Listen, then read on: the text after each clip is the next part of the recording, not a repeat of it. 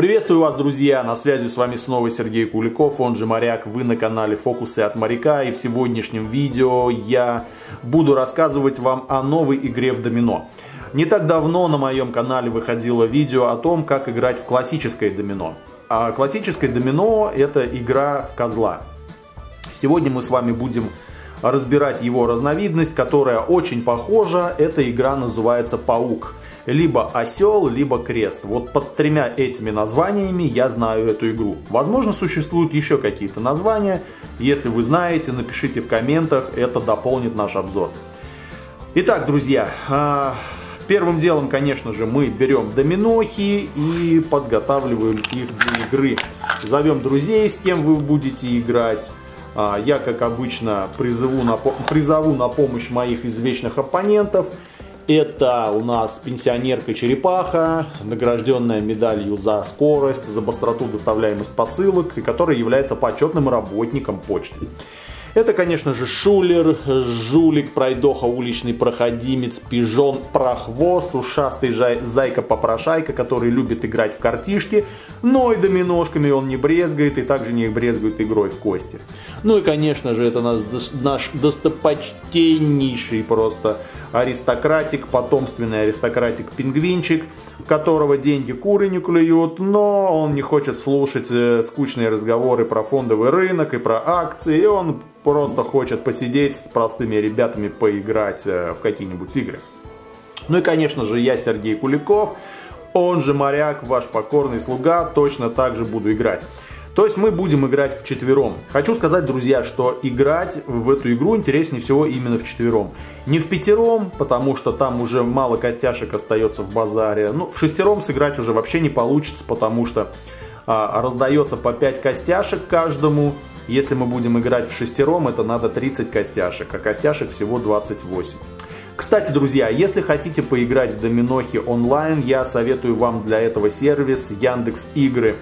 На этом сервисе, кстати, много игр в домино. Просто заходите на сами Яндекс Игры, в поиске пишите домино, он вам находит несколько вариантов этих игр, выбираете по рейтингу, какая вам больше нравится и играете. Ссылку на сервис Яндекс Игры я оставлю в описании, переходите и играйте. Там много игр, помимо домино есть карточные, ну и так далее, там увидите.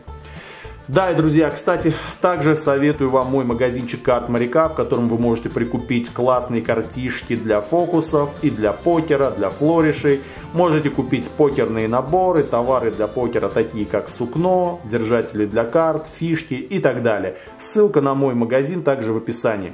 И также, друзья, попрошу вас подписаться на мои резервные каналы на Яндекс.Дзене, на Рутубе и на Телеграм-канале на случай, если YouTube когда-то все-таки у нас исчезнет.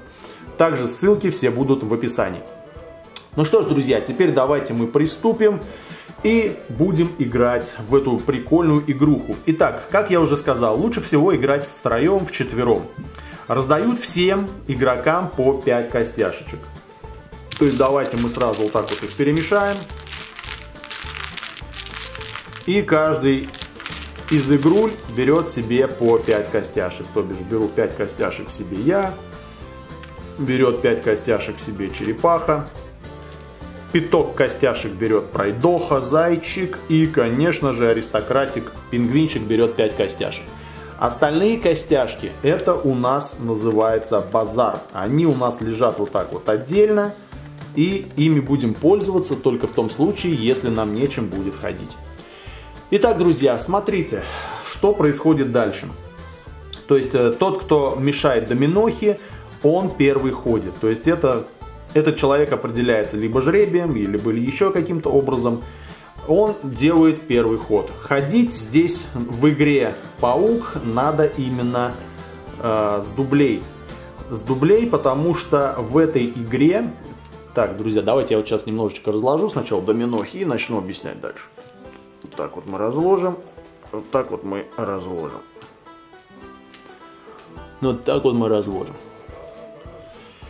Итак, в этой игре ходят с дублей. Почему? Потому что, когда мы играли в классическое домино, мы раскладывали лишь в две стороны. В пауке мы раскладываем в 4 стороны. То есть к доминохе, к центральной, которая будет дубль, который дубль мы сейчас выложим в центр, от него будем отходить в 4 стороны. Итак, я тасовал, моя очередь ходить. Э, хожу я с дубля, по идее, 1-1. Но, соответственно, если у меня нету 1-1, я беру 2-2, 3-3, 4-4, 5-5 или 6-6. Если у меня этого дублей нету вообще, то ход переходит к следующему, потому что надо выложить в центре именно дубль. Я думаю, вы понимаете, да, потому что мы играем в четыре стороны, то есть, то есть у нас должно быть одинаковое значение со всех сторон. А с дубля с лысого, который вот голый у нас совсем, да, с него ходить не надо, с него нельзя точнее ходить. Итак, смотрите, вот у меня мои костяшки, да, то есть у меня дубль это вот 4-4, то есть я пошел. Если бы у меня не было дубля, ход бы перешел к черепахе. Если у черепахи не было дубля, ход бы перешел к зайцу. Если у зайца не было дубля, ход бы перешел к пингвину и так далее. Ну, то есть у кого-то дубль в любом случае бы был. Итак, вот я сделал ход. Вот э, я пошел дублем. Э, что мы делаем дальше? Соответственно, черепаха смотрит, есть ли у нее четверки и начинает выкладывать. То есть сейчас я вам расскажу для примера, Потом мы кружочек, возможно, другой сыграем, для того, чтобы вы лучше запомнили, как это все происходит. Партия, кстати, идет до 120, по крайней мере, я буду играть до 120, то есть обязательно подготовьте какие-нибудь э, листочек, где вы будете записывать то, что у вас как бы происходит. Итак, друзья, мы продолжаем. А, я пошел дублем 4-4, ход черепашенцы. Соответственно, у черепашенцы есть 4-1, есть 4 лысый, и ей надо выбрать, с кем пойти. Ну, собственно, она, допустим, пойдет вот 4-1. Зайчик, он смотрит. У него либо единицу класть, либо четверку, да, то есть со всех трех сторон он, он имеет право положить 4. Что зайцу выгоднее сделать? У него есть единица, у него есть четверка. Вот смотрите, допустим, если он положит четверку, он оставит открытой двойку. Двойка у него есть, на худой конец он может ее положить. Если он сейчас положит единицу, точно так же у него, кстати, будет двойка. Поэтому ему выгоднее положить единицу 2, потому что он оставляет себе и четверку на случай хода, и двойку. Итак, ход переходит к пингвинчику. Пингвинчик смотрит, так, есть ли у него двойки или четверки. Двойки есть и четверки тоже есть. Соответственно, какой лучше пойти? Ну, допустим, он пойдет 2-3, потому что у него тройка есть, и лучше он ее прибережет. Хотя может, в принципе, пойти 4, и точно так же тройка у него будет. Ну, давайте он пойдет вот так вот, 4-3. Следующий ход мой. Вот смотрите, друзья, если у игрока есть дубли, он имеет право их выложить. Вот смотрите, допустим, а, у пингвинчика, к примеру, дубль вот 1-1, да? Вот если бы мы играли так, что у нас сейчас было бы здесь, вот, например, единица, вот просто для примера, вот если бы единица вот так вот бы сейчас лежала, да, это, ну давайте вот это пока уберем, просто для примера, единица бы вот так лежала, пингвин имеет право, точнее, любой игрок имеет право, если у него несколько дублей или один дубль, он имеет право их выложить вот так. Соответственно, дальше продолжаем класть единицы. Любой игрок имеет право закрыть дубль, то есть перевернуть его вот так. Соответственно, дальше класть костяшки домино уже нельзя. То есть игрок имеет право закрыть одно направление. Далее, если у игрока сразу несколько дублей на руках, ну вот, например, если бы у пингвина был 1-1, там 3-3, 5-5, он бы имел право их все выложить. Но при условии, что есть куда, к чему положить пятерку и к чему положить тройку. То есть он имеет право отдуплиться сразу всеми дублями, которые у него есть. Причем он имеет право какие-то дубли закрыть, а какие-то оставить открытыми. Имеет право полностью все закрыть, например, все три направления. А имеет право, например, закрыть два, а одно оставить. А в этой игре, кстати, рыба происходит именно тогда, когда все четыре стороны вот таким вот образом закрываются. То есть, когда все направления закрыты, это рыба. Вот такие вот э, дела, друзья. То есть, как вы поняли, отдуплиться можно за раз сразу несколькими дублями. И причем направление можно закрывать. Итак, значит, пошел я, пошла черепаха, пошел заяц, пошел пингвин. Итак, мой ход. У меня либо четверку, либо двойку, либо тройку необходимо положить. Соответственно, я смотрю, что у меня есть. Да, четверка есть, есть. Ну вот я, допустим, с четверки и пошел. Ход черепахи, да, у нее есть четверка, у нее есть тройка. Ну, допустим, она пошла четверкой, да, то есть мы будем раскладывать нашего паука вот так вот. Пошла она 4 лысый, 4 голый точнее, да. Ну, у зайца что? Голый есть? Есть. Тройка есть? Есть. Ну, давайте, вот он троечкой пойдет вот так. И голых оставит для себя, и у него потому что один есть. Пингвиненыш смотрит, у него пятерка есть, двойка есть, лысого нету. Ну, головы нету, соответственно, чем он пойдет? Ну, давай он пойдет, допустим, 2-5 положит, да? Мой ход. У меня есть лысый, у меня есть пятерка. Соответственно, давайте я, наверное, пойду вот так вот. Я положу лысого и единичку для себя оставлю. Потому что у меня есть 5, у меня есть единица. То есть я на два направления если что, могу положить.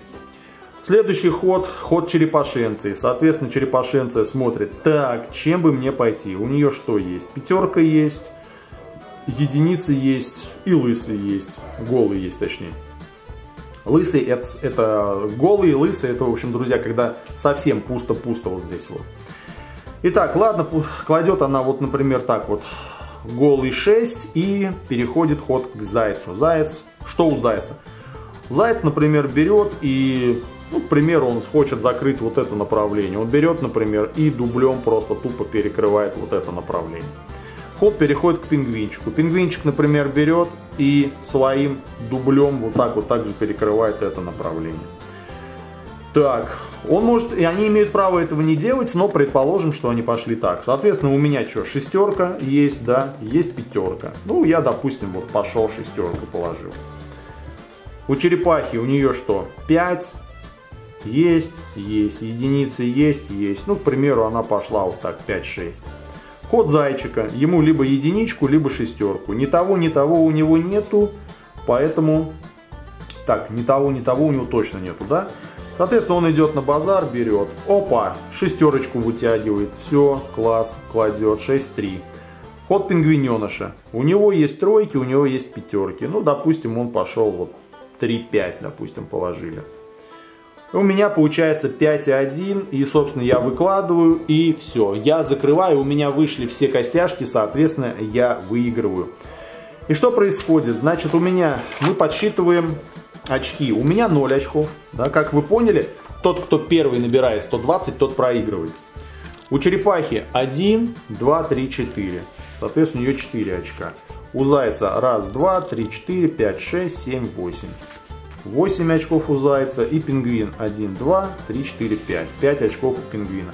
Как вы поняли, очки считаются именно по а, вот этим вот а, оставшимся костяшкам домино. Если у игрока остается голый, да, либо, как его называют, там, лысый, мыло, а, то это засчитывается за 25. Но только если этот голый один. То есть вот, например, где вот у нас он? Вот. Если бы у Зайца, например, осталось чисто вот так, он бы записал 25 очков себе. Вот и все, друзья, простейшая игра. Давайте сейчас я сыграю еще один коночек, для того, чтобы вы поняли, как все это происходит. Итак, выиграл я, соответственно, тасую снова эти доминохи я. И ходить дублем также начну первым я. Итак, потасовали. Берем по пяток домино. Так, раз, раз. Так, здесь две. И пингвинчик тоже берет 5 штук. Эти на базар. Итак, открываем. Мои доминохи вот эти. У черепахи доминохи вот эти. У зайчика доминохи вот эти. И у пингвиненыша доминохи вот эти. Так. То есть вот они наши доминохи у всех, да, вот мы все собрались. Итак, мой первый ход. С лыса выходить нельзя, соответственно, у меня дублей больше нет. Ход переходит к черепахе. Черепаха смотрит у нее, дублей нету, да, ходит, значит, заяц. У зайца тоже дублей нету, ход переходит к пингвинчику, у пингвинчика есть дубль 2-2. Соответственно, он пошел дублем 2-2. Так, э, мой ход, да, соответственно, ну что, я, допустим, кладу 2 пусто. Черепаха, у нее есть пусто, есть двойка, ну, допустим, она пошла 2-4. Вот таким вот образом. Так, зайка-попрошайка смотрит, что у него есть, есть ли у него двойки, четверки или пусто. Двойки есть, четверки есть. Ну, допустим, он дал четвертак, да, четверочку дал. Пингвиненыш. У пингвиненыша что? Есть ли у него два пусто и либо пять? Два пусто есть, пять нету. Ну, допустим, он пошел вот 2-3, допустим, вот так. Так, смотрим сюда, значит, мой ход, да, тройки у меня есть, ну, давайте я вот троечку тоже дал, да, вот так вот пошел. Далее, кто у нас? Черепашенция. Черепашенция смотрит. Э, да, неправильно я, конечно, пошел. Надо было лучше сходить по-другому, ну ладно. Так, э, Черепашенция смотрит пусто 2, 4, 5. Пусто 2, 4, 5. Да, есть у нее пусто. Допустим, она пошла пусто 1. Зайченыш смотрит, что у него 1, 2, 4, 5. Да, у него есть и 1, и 2, и 4, и 5. Соответственно, что ему лучше положить? Допустим, он положит двойку с пятеркой, вот таким вот образом, чтобы пятерочку и единички для себя приберечь. Пингвиненыш смотрим. Так, пингвиненыш, что у нас есть? Пусто 3, 4, 6. Четверка есть, да? Соответственно, он положил четверочку. Так, 6 у меня есть, есть единица 2. Ну, давайте я вот 6 и 5 положу. Ход черепашенцы. Что она будет класть? Единичка, пятерка, троечка, да, у нее есть. Пятерка, единица. Ну вот ей выгоднее, наверное, положить 5-1, да, потому что единичка у нее еще существует.